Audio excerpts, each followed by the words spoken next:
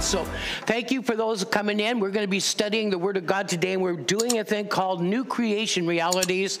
And today, we're going to be talking about the wisdom for eternity. How many here know that God will be the same yesterday, today, and forever? And that means that His wisdom is the same yesterday, today, forever.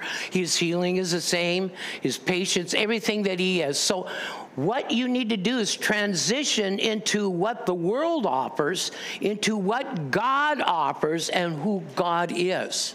For example, the Bible says, Let patience have a perfect work. Whose patience? Jesus is. See, if you're reading from an Old Testament viewpoint, you didn't know that God was going to come and live in human beings. And you know, Jesus completely set up a new system. And amen. So God wants us to be victorious. He gave us all the rights, all the things to apply to be victorious. Can you say amen? And so God's wisdom is the same yesterday, today, and forever.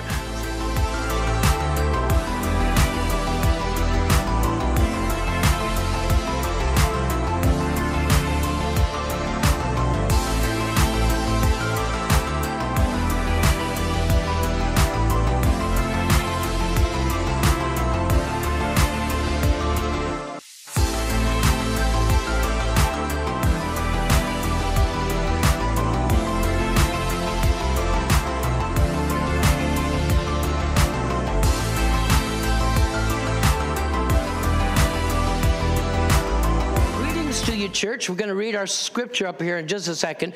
Today, we're going to see how the Father really desires for us to walk in His wisdom and to be wise as serpents and gentle as doves. Now, I want to let you know that the enemy doesn't have any more power as far as supernatural power. He's been stripped, but he has the ability to con us out of our authority. So we don't want to let him have that. Can you say amen? And as we follow God, we are to know that God and we do the walking together. We never walk alone. How many's ever felt like you were alone?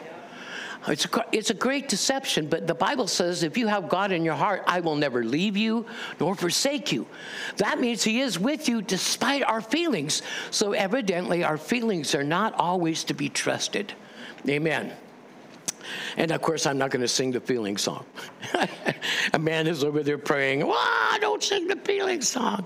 All right, so a couple of things. Church, we are to know our God very well. And the problem with a lot of Christians today is we know about God.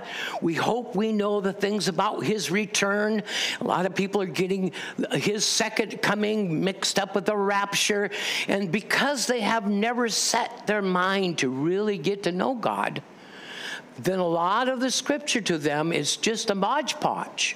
How many here had, you know, when you got a hold of some of the scripture, you got some picture, but you didn't get the whole picture. Imagine yourself in a hot air balloon. I want to go in one one day. Amen. All you do is go up and you're tied to a cord and go up and everything. But within that thought, just think, you know, when you're down on the ground, you see what you can see in your peripheral vision. But when the air is raised and you're going up, what can you see?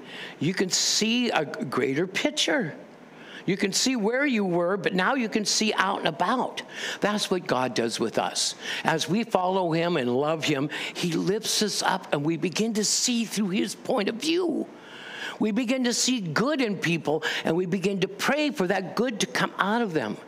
Instead of seeing what's going wrong, we are touched by God's grace and start to bring God's power and kingdom into areas where people don't ask. Did you know you might have relatives that don't know how to ask Jesus to come into their lives so that you can ask them for them?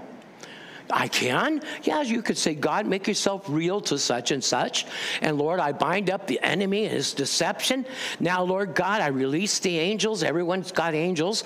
I release the angels to lead that person to a saving knowledge of Jesus Christ where they can make a decision for themselves. I hope you got that. Amen. Very important. You can change your surroundings. That's what the enemy doesn't want us to know. He wants us so hung up in fighting battles, trying to get things done, that we can't plan out and speak out God's blessings ahead of time. You know, we talked last week a little bit about going out three months, you know. I think that's, let's go out three weeks. anyway, the idea behind it is, is you have so much power at your disposal, but we need to operate in God's wisdom. Say God's wisdom. Now, his wisdom is pure, it's peaceable, it's kind, easy to be approached, easy to be reasoned with. His wisdom will bring peaceable fruit of righteousness. Amen. You'll find that James 3. Okay? It compares worldly wisdom with godly wisdom, and there's no difference because it, we run by our senses, and our senses has its own wisdom. If it feels good, do it. Remember that old philosophy? All right, so let's get into this, all right? So, as we begin to look at all of this, we're going to cover four areas, and then we're going to look at our scripture up there. Okay, here we go. This is our scripture. Hear, my son, and receive my sayings. This is Proverbs 4 10 through 13. Good backdrop, Danny. And the years of your life will be what? So, in other words, God wants us to have ears to hear. How many times did Jesus used to say, Have ears to hear, have ears to hear?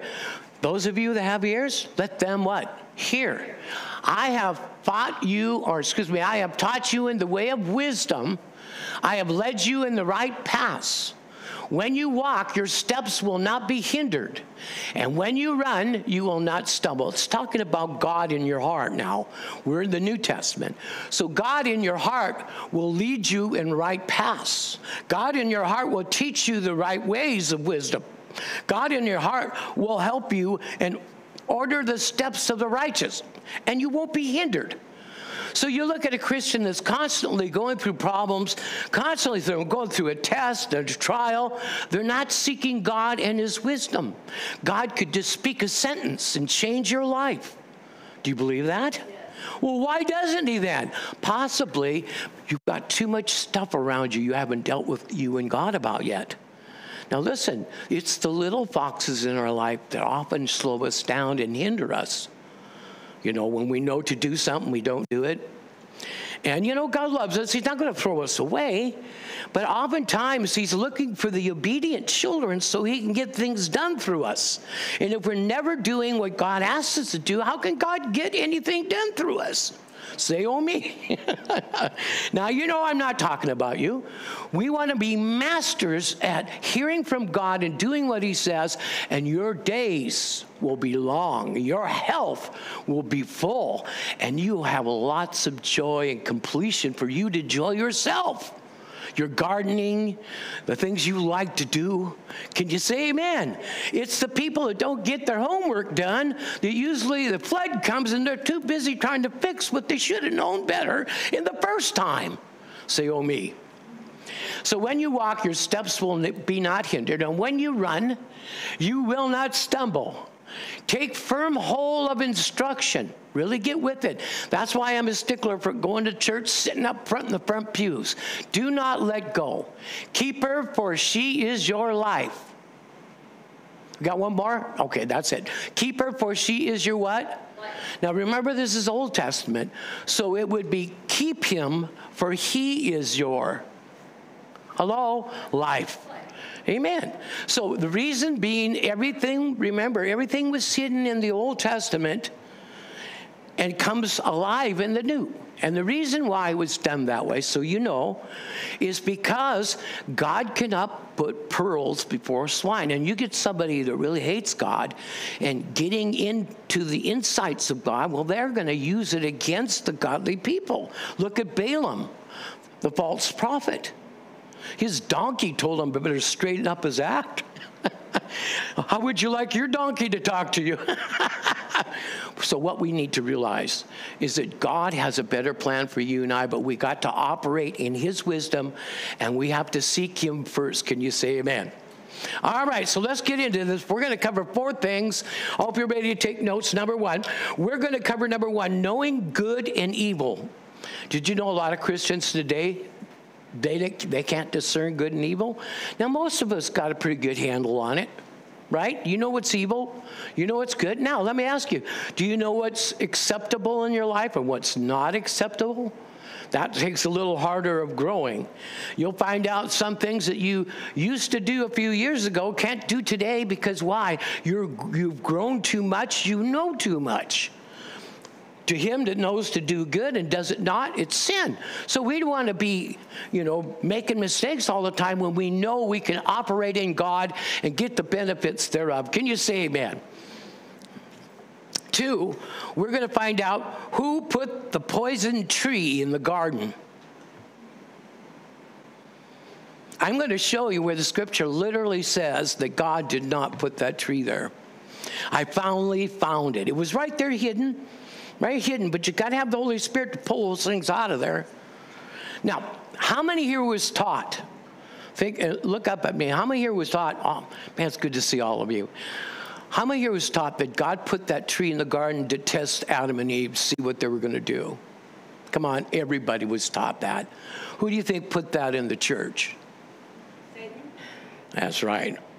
Because the Bible says, let no man say, now is God the same yesterday, today, and forever? Is he the same Old Testament, New Testament? Right? So, Old Testament, we know that it went sour because of Adam's sin, but we're in the New Testament. But the Bible says in the New Testament, let no man say when he is tempted that God is tempting me. So he didn't put it in the garden. Satan put that tree in the midst of the garden. And I'm going to show you it. We're going to have fun. I hope you're taking notes there through the camera and spread this one around because there's a lot of people that are stumbling all around because they think God is tempting them. God's putting them through the mud and the crowd just to see what they're going to do. And by all of that, He's going to work out something good in your life. I don't know about you, but a confused God is unstable in all his ways. God is not unstable. He's perfect and he's good. Can you say amen? And then, thirdly, we're going to find out the three realms of what I call temptation. The three realms. Everybody's tempted in these three realms. The temptations don't go outside of these three realms. But these three realms offer a lot of kinds of temptation. And who's the tempter, folks? The devil. Satan, the devil, yeah. But there are people who will teach today that God is tempting you to teach you something. And you know, if you're not studied, it sounds religious. well, God, what are you hoping to get out of me? And now he moved us from faith like a child to reasoning like your own selfish professor that we're never going to be. Hello. And see, enemy is a master at moving us up into the reasoning realm, moving us out of the faith realm into the reasoning realm, whereby a double-minded man is what? Unstable in all his ways. Don't let him think he shall receive anything from the Lord. Hope this is clear for you because this is going to be good. All right, so in the last point we're going to cover is temptation comes only to those that are in the flesh. Did you know that Jesus was in the spirit, right? But didn't the tempter come to him one time, didn't he? And you remember, we're going to go through that. You'll remember, it says that after Satan couldn't find anything wrong with Jesus, he says he left. And then he says to come back and find a more opportune time to come back to Jesus. Never could. Can you say amen? Now, let me encourage you. The tempter is going to come to you once in a while. And I'll show you why and how. And when he does, just have a poker face and a lot of praise because he won't be able to touch you if you won't listen to his lies. Hello? Jesus said, The prince of this world is coming and he will have nothing in me. I'm not going to give him anything to hang on to me. Say amen. And God is the one that helps us to do that. You can't do that on your own. So be encouraged that God has that all planned out for you. Say amen. So we're going to know the difference between good and evil. Open your Bibles, please, to Hebrews chapter 5. Danny, did I miss anything? Oh, I hope not. Okay, good. Hebrews chapter 5, 12 through 14. Now, this is a small rebuke, and let me give you the history. The Hebrew Christians have panicked, they all jumped ship. They were Jewish, then they got saved and received Jesus Christ. They still hadn't got all of the Jewish teachings out of them yet. And now they were panicking and freaking out, and Paul writes a letter to them, but doesn't sign it. So the book of Galatians and the book of Hebrews were written together.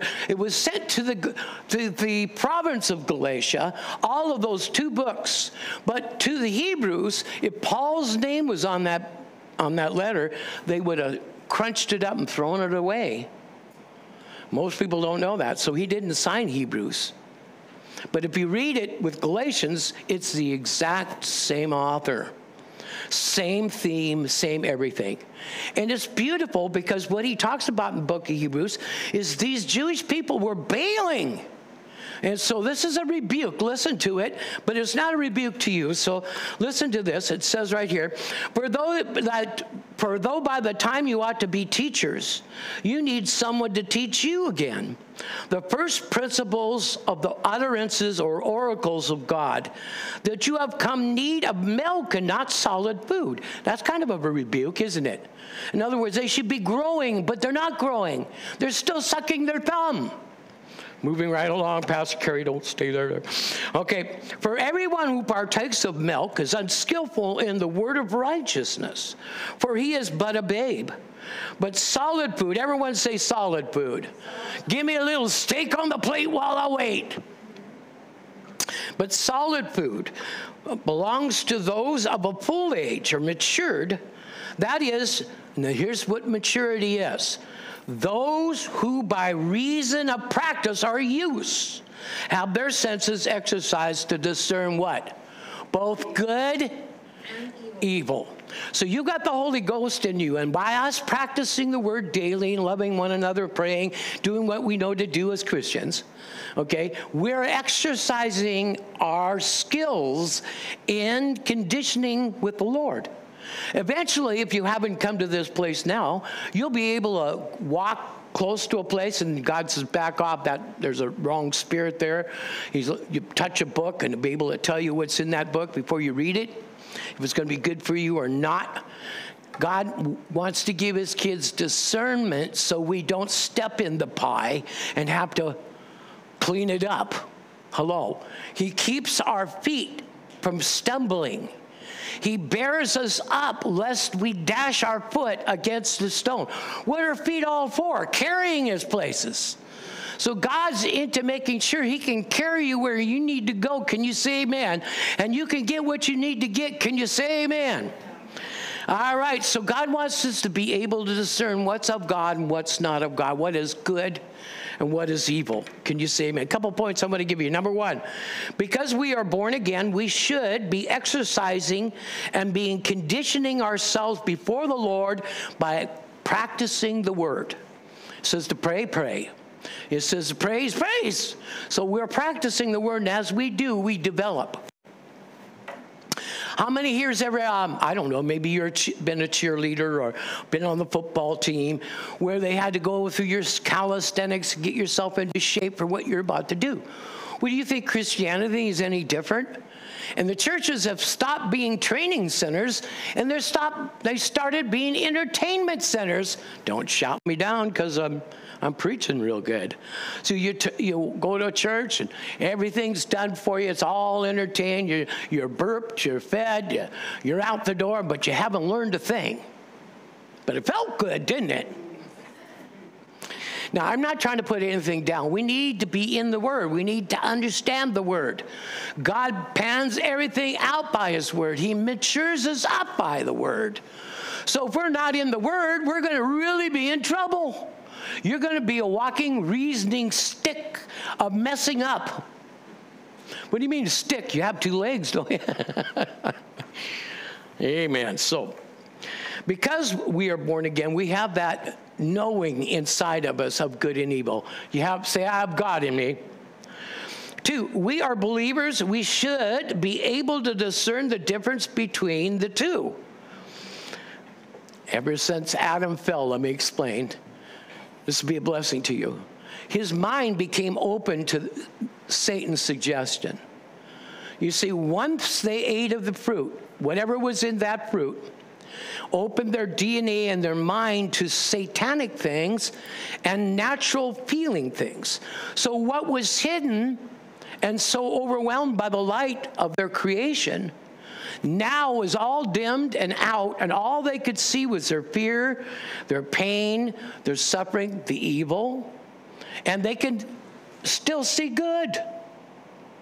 Now they were exposed everywhere they went to good and evil. Hey, check yourself. How about you? Been out to the store lately? You're exposed to good and evil. it's out there. But our, because we have God inside of us, we have a God filter. And if we let God run our life, He filters out that nasty stuff. Can you say amen? He, he tells us not to, to go to that event. He tells us to go to this event, tells us to do this and do that. Can you say amen? Why is He doing that? He's getting us to have a full life, to have it more abundantly. But we have to follow Him. Amen.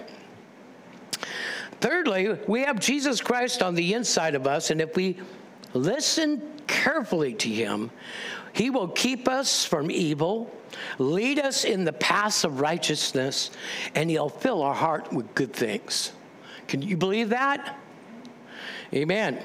And finally, church, number four, God is good and perfect. All that he does is good and perfect. Anything else needs to be discerned. Hello, how many here have gone out to a meal and they showed up with something that looks like food? What'd you have to do? You had to discern whether you want to eat that or not. Well, how, we're Christians. We should be able to get up in the morning, meet with God, get tuned up, tuned in, and then walk through our day with discernment, with rejoicing and praise as He fulfills our days in Him. Say amen. Oh, it's just not that easy, Pastor Kerry. You don't know what we're going through. Well, let me just hang around for you and listen to what you talk during the day.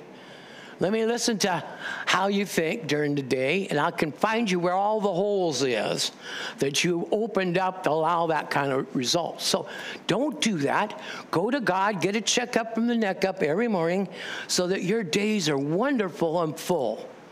When, when you are having doubts, God will speak up and say, Don't doubt, I'm with you, child, you know? And, and that relationship. So the, the key is to interchange your relationship uh, in and out the day. And all our ways, what? acknowledge him or have conversation throughout the day with him and he will direct your path say amen all right 1 john 1 5 we know that god is good say amen and in him is no darkness at all. So look at 1 John 5, 1 5. This is a message. This is the disciples, John speaking. This is a message we have heard from him and declare unto you that God is what? Light. And in him is what? No darkness at all. So he's not anything to do with evil. So think about how Satan just laughs at Christians when they say something like this Well, I don't know what God's doing to me, but I do know I've gone through a real tough time and I know He's working out something in my life. Now, does God get any glory in that? Now, again, I'm not putting people down with that, but that's what Satan has been selling the church. It is not so. We're going to show you that Satan put that tree in the garden. We're going to show you that Satan altered man's condition, that Satan is the uh, author of sin, and we don't have anything to do with them. Can you say amen? But he likes to mingle and mix and get attention. He's an attention getter. So when you hear, I love you, my child, you'll hear your head he knows God said something to you, but he can't figure out what he said. And he says, ah, You're a jerk. How can you even think God loves you? And then you got this kind of conversation. Come on, smile at me. Coming on in your head. Just rebuke it all. Folks, I want to tell you, thank God you're not a pastor. I can tell you one time I was in bed. I was sleeping in the morning. I can't tell you whether I was in the body or out of the body. And there stood, right by my closet, a demonic spirit, a big principality. Okay, and he had instruments and, and jewels all through his body. And I woke up, and I can't tell you if I was like dreaming or sleep. But all I do remember doing is I, I rebuke you in Jesus' name. The thing went poof, like that. I said, Lord, what is that doing in my house? You know? Now, that was a long time ago, and a lot of things were going wrong at that time, and that's what it was doing in the house. But thank God you don't have to ha- worry about that, be concerned about that. Devils should run from you. Can you say amen? Get up in the morning, get so charged up. It's like your flashlight. What happens at night? How, how many's ever used a flashlight on your, on your phone? I mean, when I first discovered that, I thought, this is cool. Long time ago. Turn the flashlight and you walk into the, well, we walk to the mailbox to get mail sometimes at night. And, the, and what does the light do? It pushes away the darkness, doesn't it? That's who you are. But Satan doesn't want you to get a picture of that. When you get up in the morning, you're pushing away darkness because you're projecting God. Say amen. But you've got to see it. You've got to see it, see it, see it. Why? So it's a reality. You don't have to talk yourself in it anymore. You see it. Father, I am a child of light. And if you're in me, then there's no darkness in me.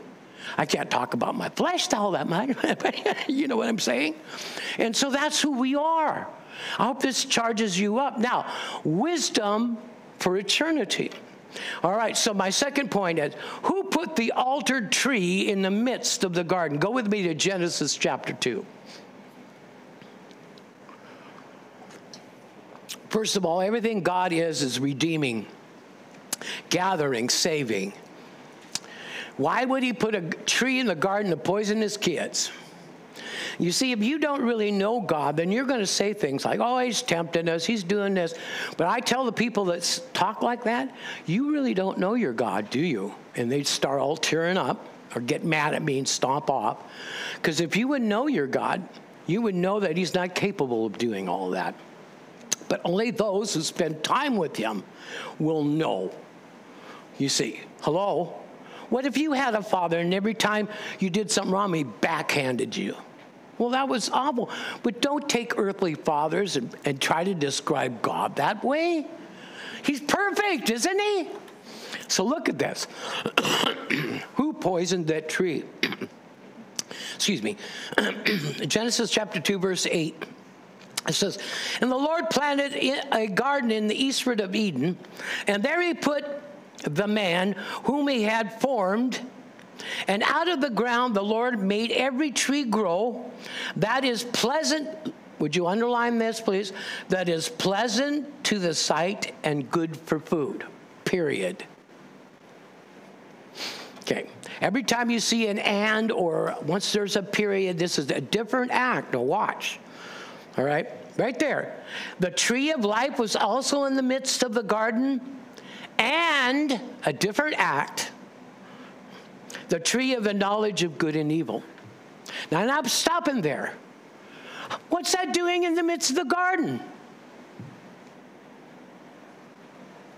So let's go down and let's look at verse uh, 15. Then the Lord, I think it's, yeah, 15. Then the Lord God said to the man, and put him in the Garden of Eden to tend it and to keep it. And the Lord commanded the man, saying, Of every tree of the garden you may freely eat, but of the tree of the knowledge of the good and evil you shall not eat, for in the day that you eat it, you will surely what? That's right. So we know that it wasn't a pleasant tree. We know Satan was standing right there talking to Eve, trying to get her to eat it. Now, where was Adam? I've heard one of my favorite teachers this the other day say Adam was out naming animals. No, Adam was standing right behind his beautiful wife, overwhelmed by her beauty, and acting like an idiot. And the devil's talking to his wife. Wasn't that a pretty good uh, idiot like conversation? Yeah. I mean, so get the real picture. He wasn't off naming something. The devil has been courting his wife for quite some time. We don't know how long. But got to her, and finally she broke down and she ate. And then it says she turned and gave to her husband with her. So he wasn't out naming bugs. He wasn't fishing. He was standing right there. And both the eyes were open. And this is why I'm saying, once their eyes were open, Satan can now suggest into our minds. So you're driving along, you're praising the Lord, listen to some Christian music, and suddenly something nasty just shoots through your mind. Well, you know who threw that in there. Doesn't mean you sin. Don't start rebuking. You know, first of all, he's fishing. And, and you know, if you know anything about the internet, they fish and see who's the sucker going to hit the little button. Satan's a fisherman. He's going to fish you. He's going to suggest to you. He's going to get you to try to break down one way or the other. When you meet with God, God takes care of all that because He warns you when the fisherman's around. Say amen, somebody. You guys look like you're all lit up, for the word. It's wonderful. So don't give Him anything to catch you with. And you say, Well, Lord, you're going to have to help me with it. Absolutely. So, a couple of points. Number one, we can see God planted every tree that is pleasant to the sight and good for food. Did he put the altar tree there as a temptation to test them? What's the answer, class? No. Unequivocally, no. God is not stupid. Doesn't he know what you're going to do before you're going to do it? That'd be stupid for him to do that. Yeah. Somebody asked the real hard questions. I love these hard questions. Remember, the only reason I know anything, and forget the I part, is for three years I was a Bible answer man on Green River Community College. You talk about have to know the Bible. These kids, college kids, you have to discern who really was seriously asking a question and who is just picking to argue. And I got conditioned really well. So just about any theme you can imagine, I have some kind of answer for you. Might not be the right one. anyway, so that's really exercised me good in some of these things that a lot of people just accept as, oh, well, Lord, I know you're going to work it all out. Well, you're going to get a work it all out type of walk. And you don't want to come see, come saw I walk. You want to know where you're going so that when you show up, you'll be there.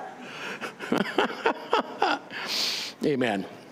And I'm, I'm convinced a lot of people don't like this kind of preaching because it gives you room to be blessed and no room to use loose interpretations of Scripture.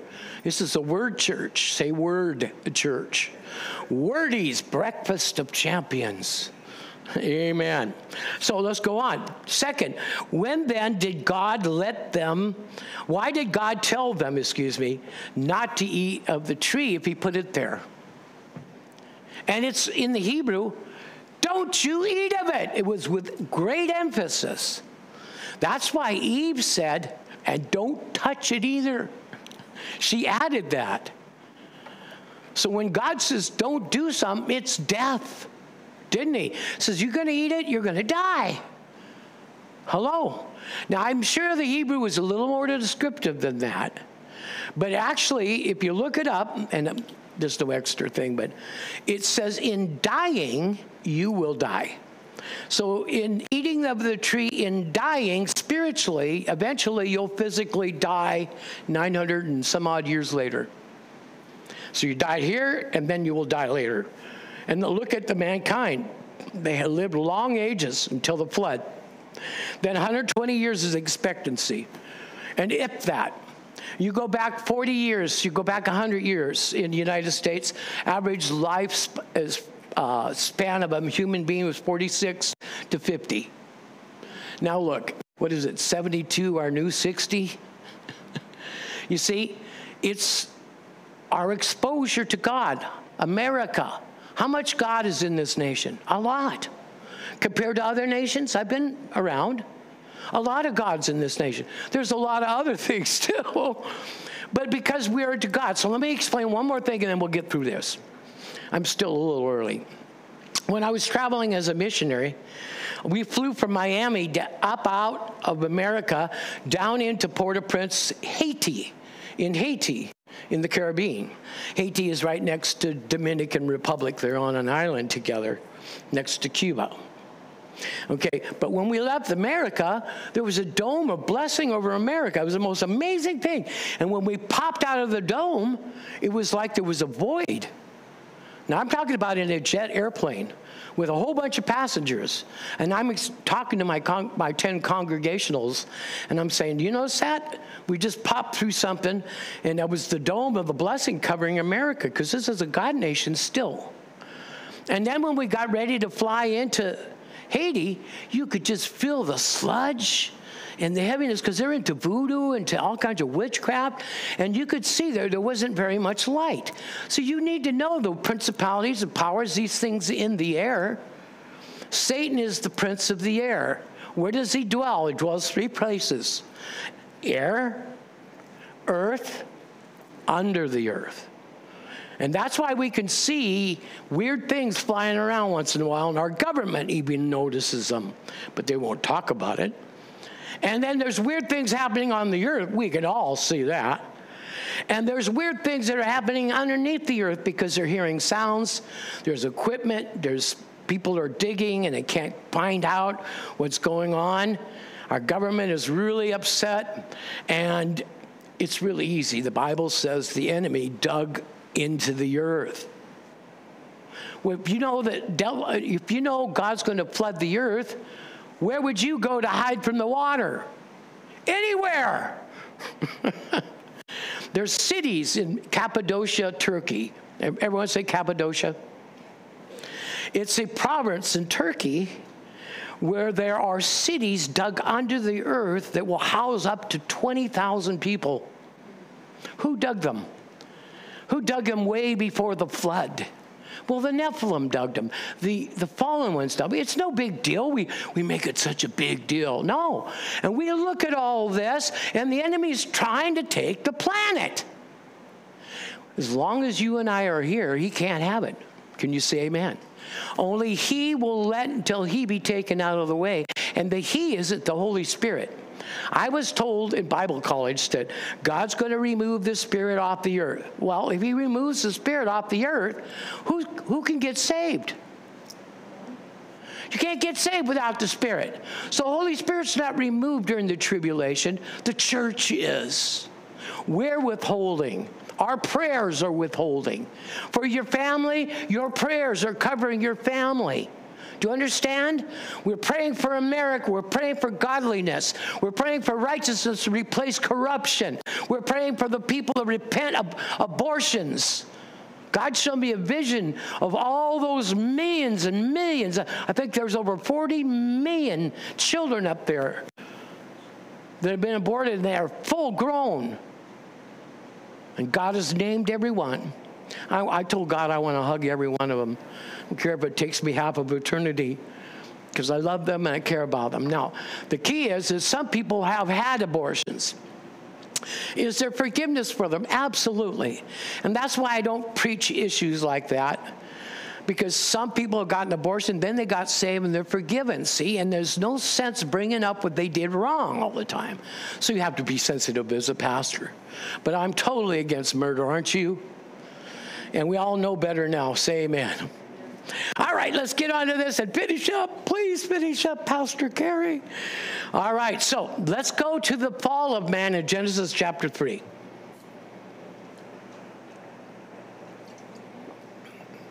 We're going to start with verse 1. I want you to see something. I want you to, number one, see the word serpent. Now, I'm not trying to glorify the enemy because I bind him. But that serpent is an unusual serpent because it's the serpent that hypnotizes. I forget what kind they call it, but Nephila or something, a serpent, where it's it's the one you see coming out of the basket, you know, where the guy's playing the flute and it has a trance and uh, that's Satan. Okay, now folks, don't get weird or anything. He's a, he's a serpent. Now think about it. Is he a real serpent? Well, yeah. Let's look at China. What is their theme for China? It's a dragon serpent.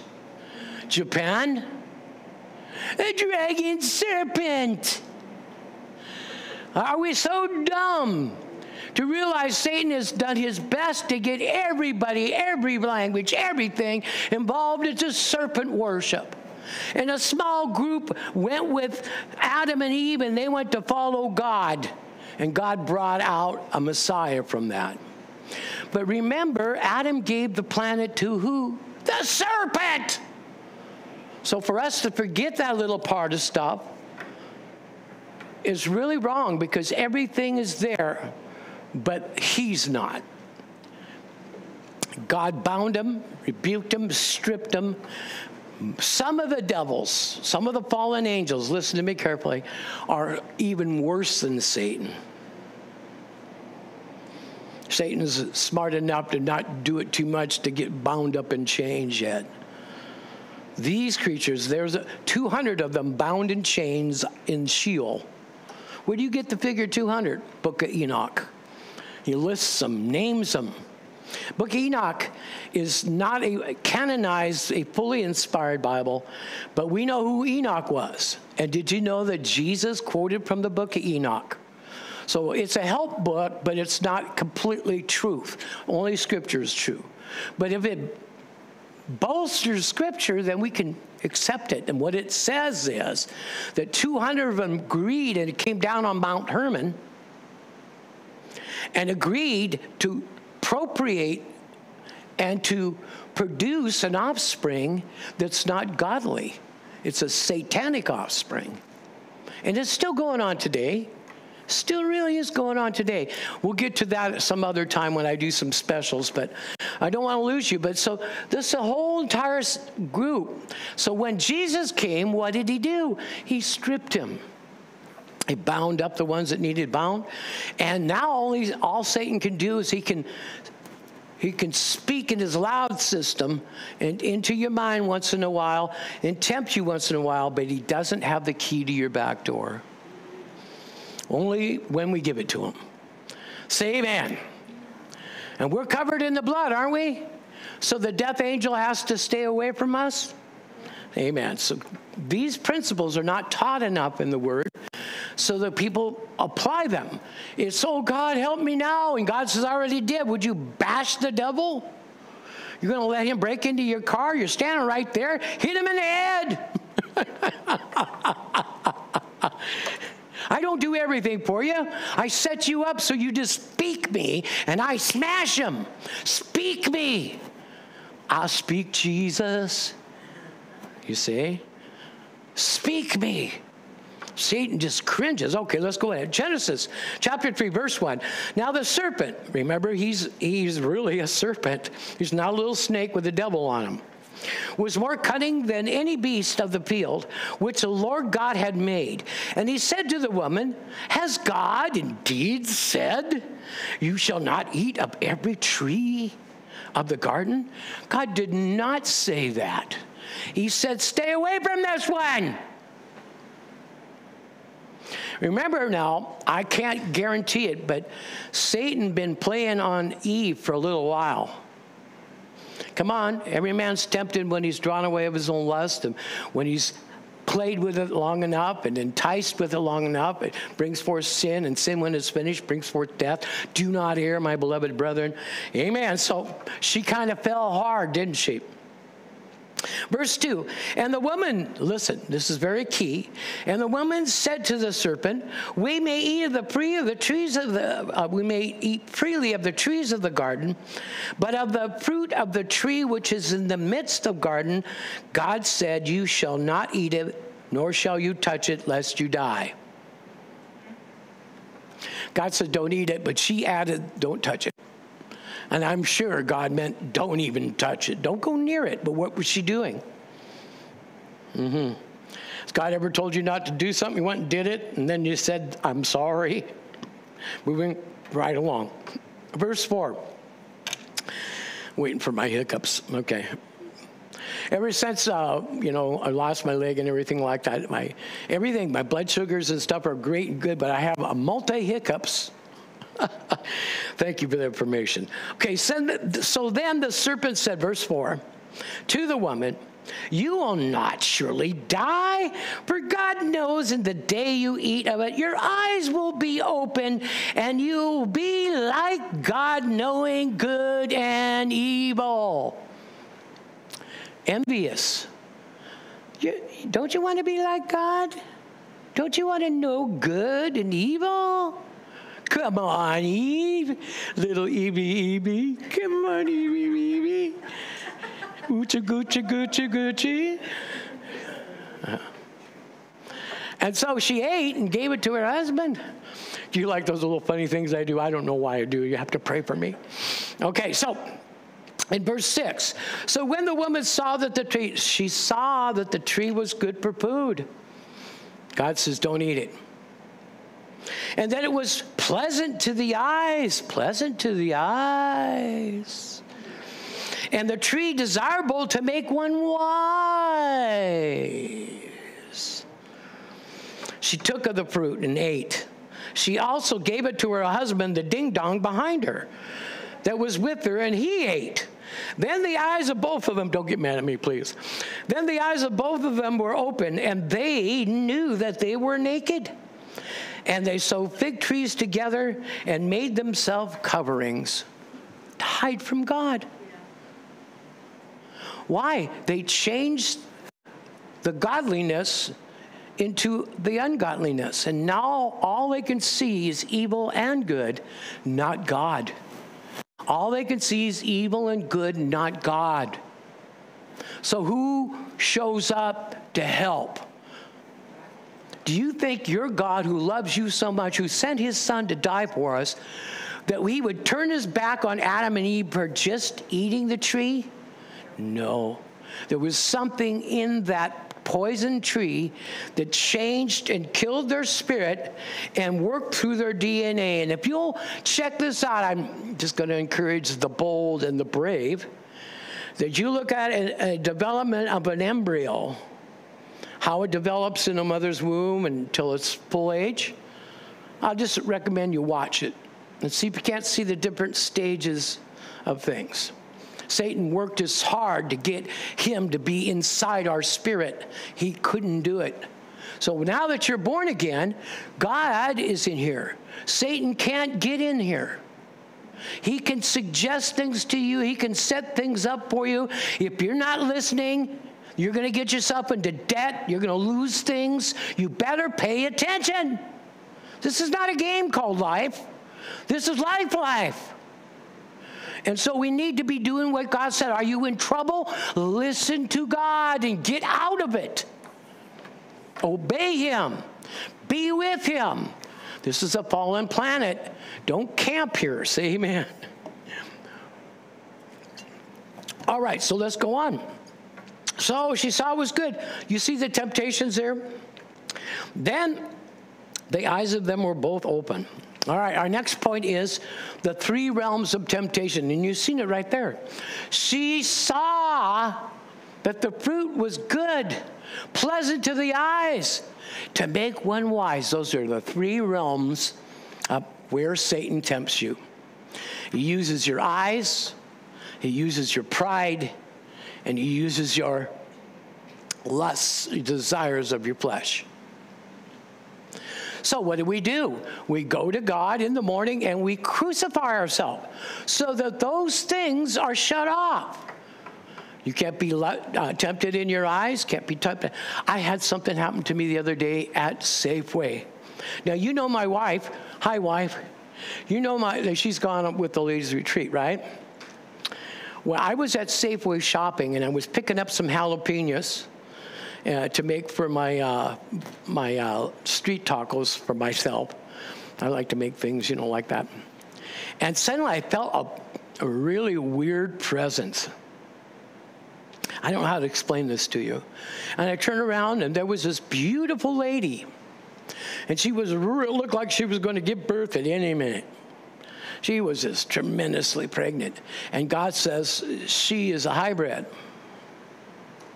I said, What? Now remember, I'm not thinking any of this stuff.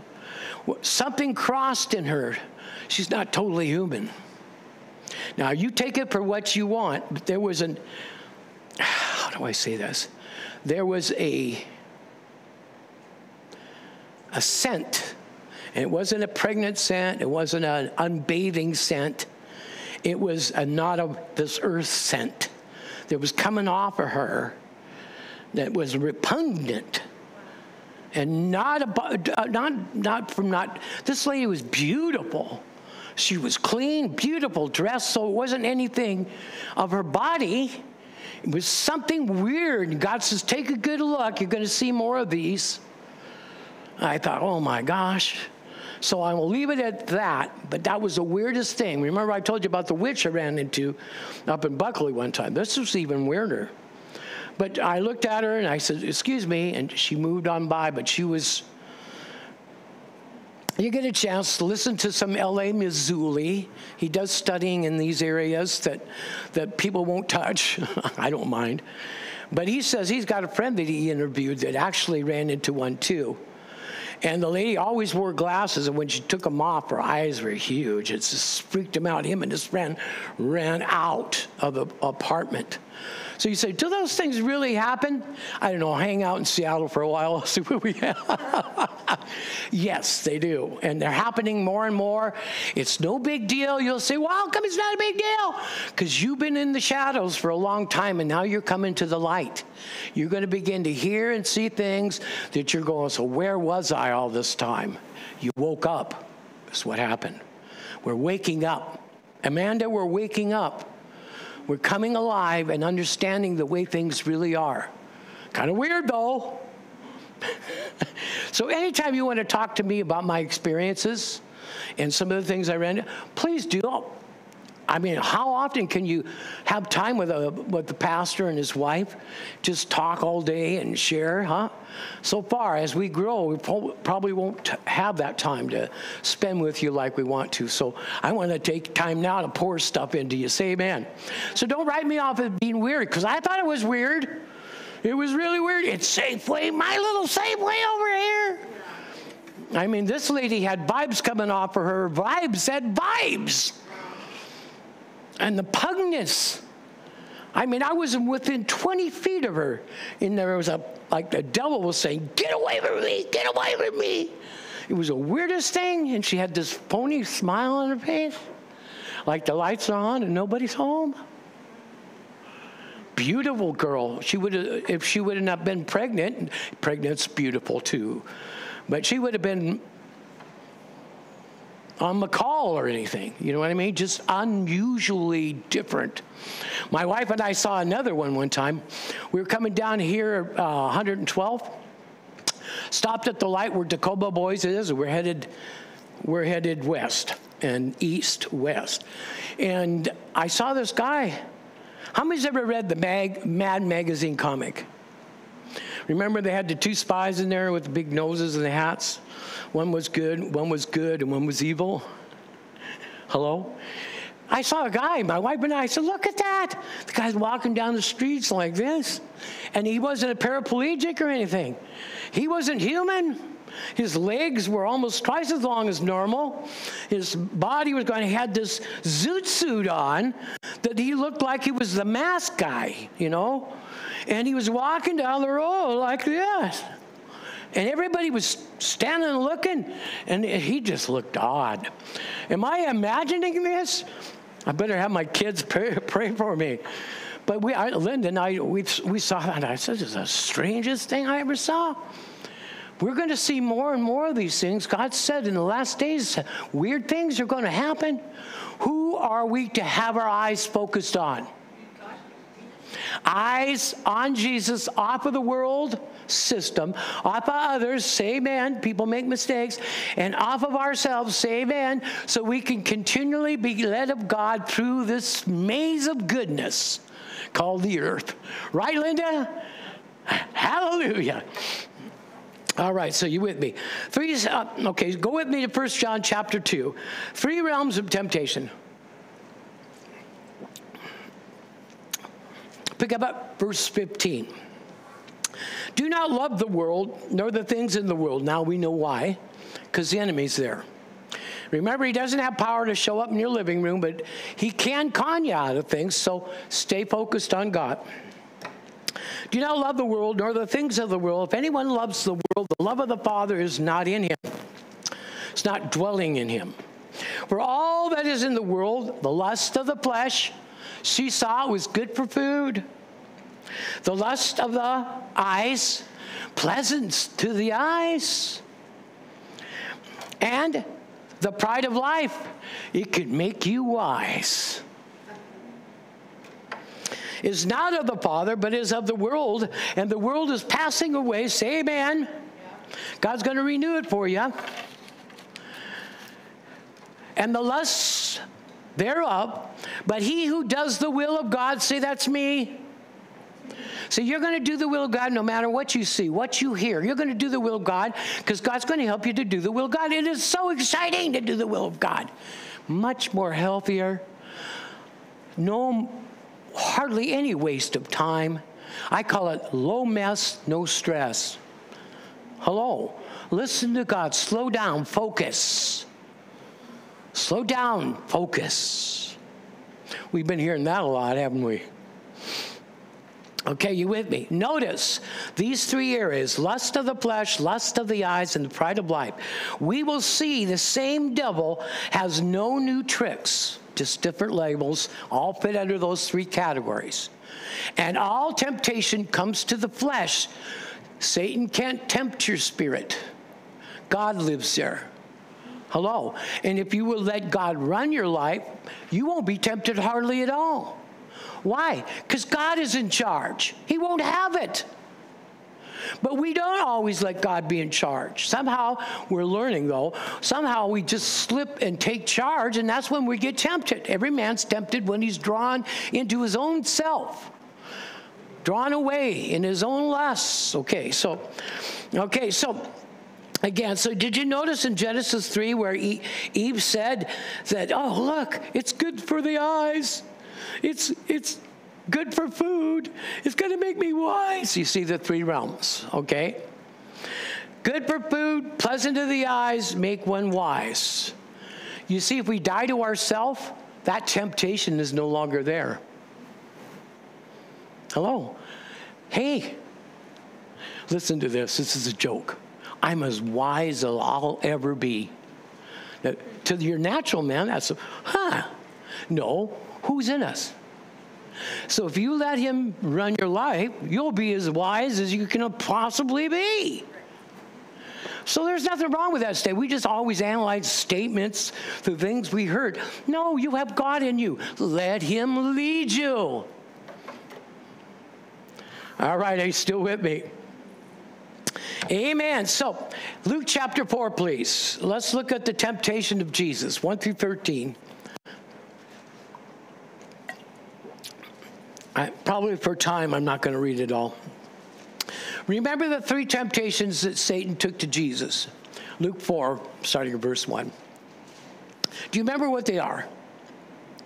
First thing Jesus did is he fasted 40 days and 40 nights, so he was probably hungry. So what does Satan do? He says, If you be the Son of God, command these stones be made bread. He hit him in his hunger. Hunger comes from what? Your spirit or your flesh? There you go. And Jesus says, Get thee behind me, saying, Man shall not live by bread alone, but by every word proceeds out of the mouth of God. So it's not food that we feed on, it's the word of God. But we have food too. Say amen. Then he took him up into a pinnacle of the mountains and showed him all the kingdoms in a moment of time. And he says, All these things I'll give you if you bow down and worship me. For they were delivered unto me. Who gave all the kingdoms and all the earth to Satan? Adam. Adam. Yeah. And Jesus says, Get thee behind me, Satan. Thou shalt worship the Lord thy God, and him only shall you serve. I don't know if I'm quoting it quite right. And then he takes him up to a pinnacle of pride, religious tower. Jewish pride is the temple. You know, let's make three tabernacles. so he takes him up on the pinnacle of the temple and says, Throw yourself down. You're the Savior. Angels will bear thee up. That's pride. So he got tempted, food, tempted, eyes, all these kingdoms, and the pride of life.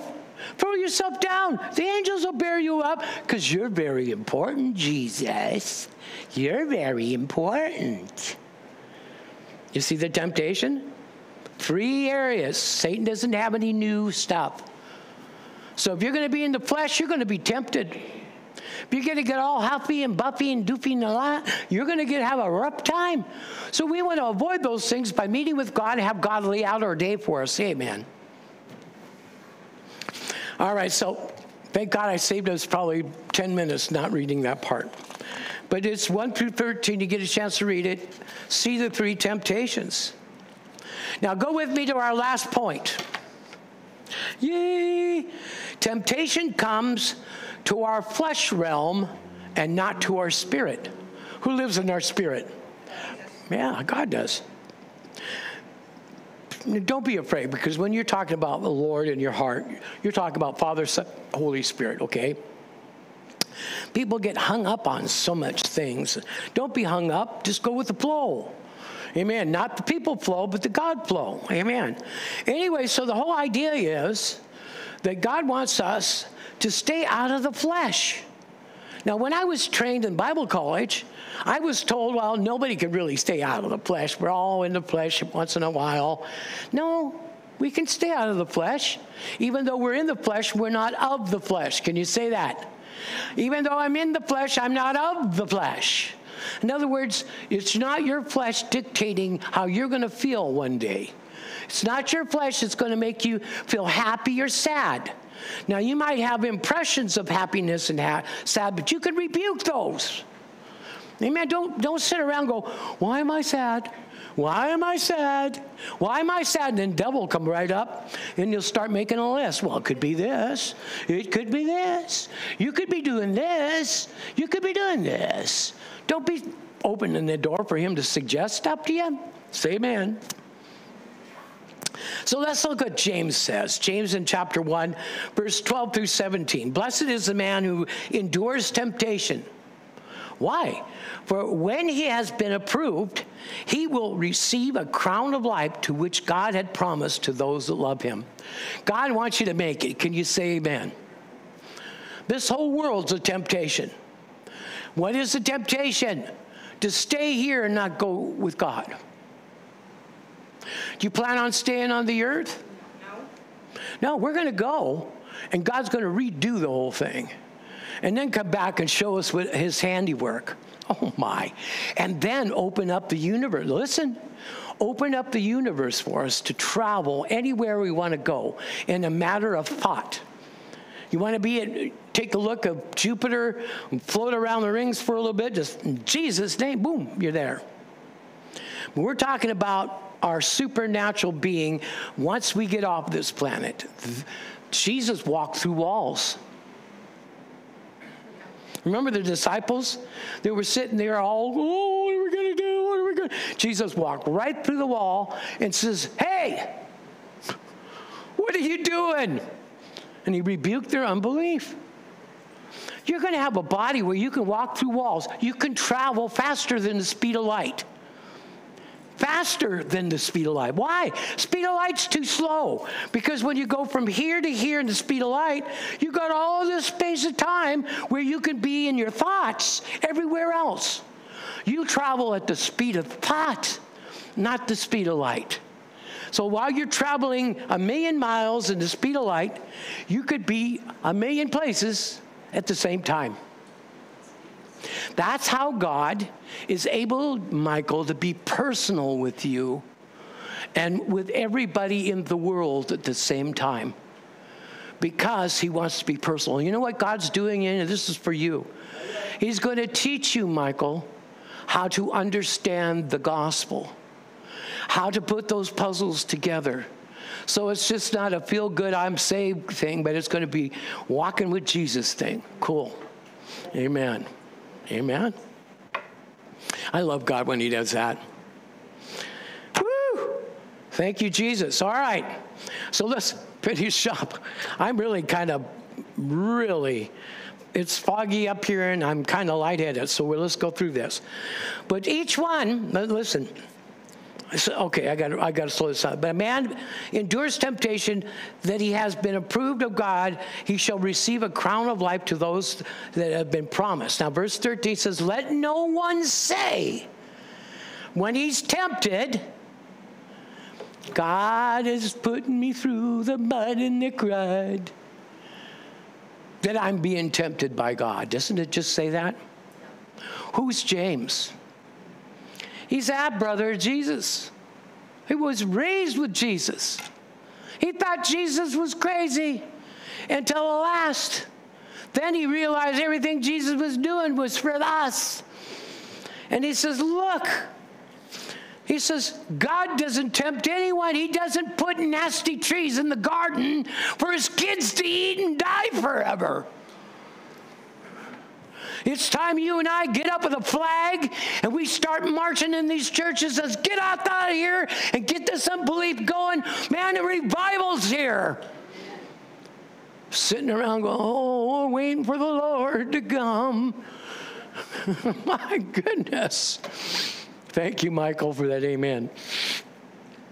And it goes on. But each one is tempted when he is drawn away by his own desires and enticed. You have to get in the flesh for Satan even to get a hold of you. He'll suggest, hey, wouldn't that taste good right about now? I mean, have you ever? I, I don't like to taste the alcohol. I don't drink. I used to drink a lot, but I never liked to taste. I always drank to get buzzed. You know, is you want to give me a beer? It better be an 18 proofer. Because I'm not drinking all that water beer. I won't use the other name. You see, when I drank beer, you drank that water beer, Bud Light, Bud, Bud. Now, did you see that last commercial? People are diving and throwing buds away like you wouldn't believe. Some guy shot a whole cases of them with his shotgun. He says, "I'm no more bud." And it was because of a transvestite advertising Jewish uh, bud commercials. And every, we're supposed to think that's all right. Let me put one bastion, you guys watching.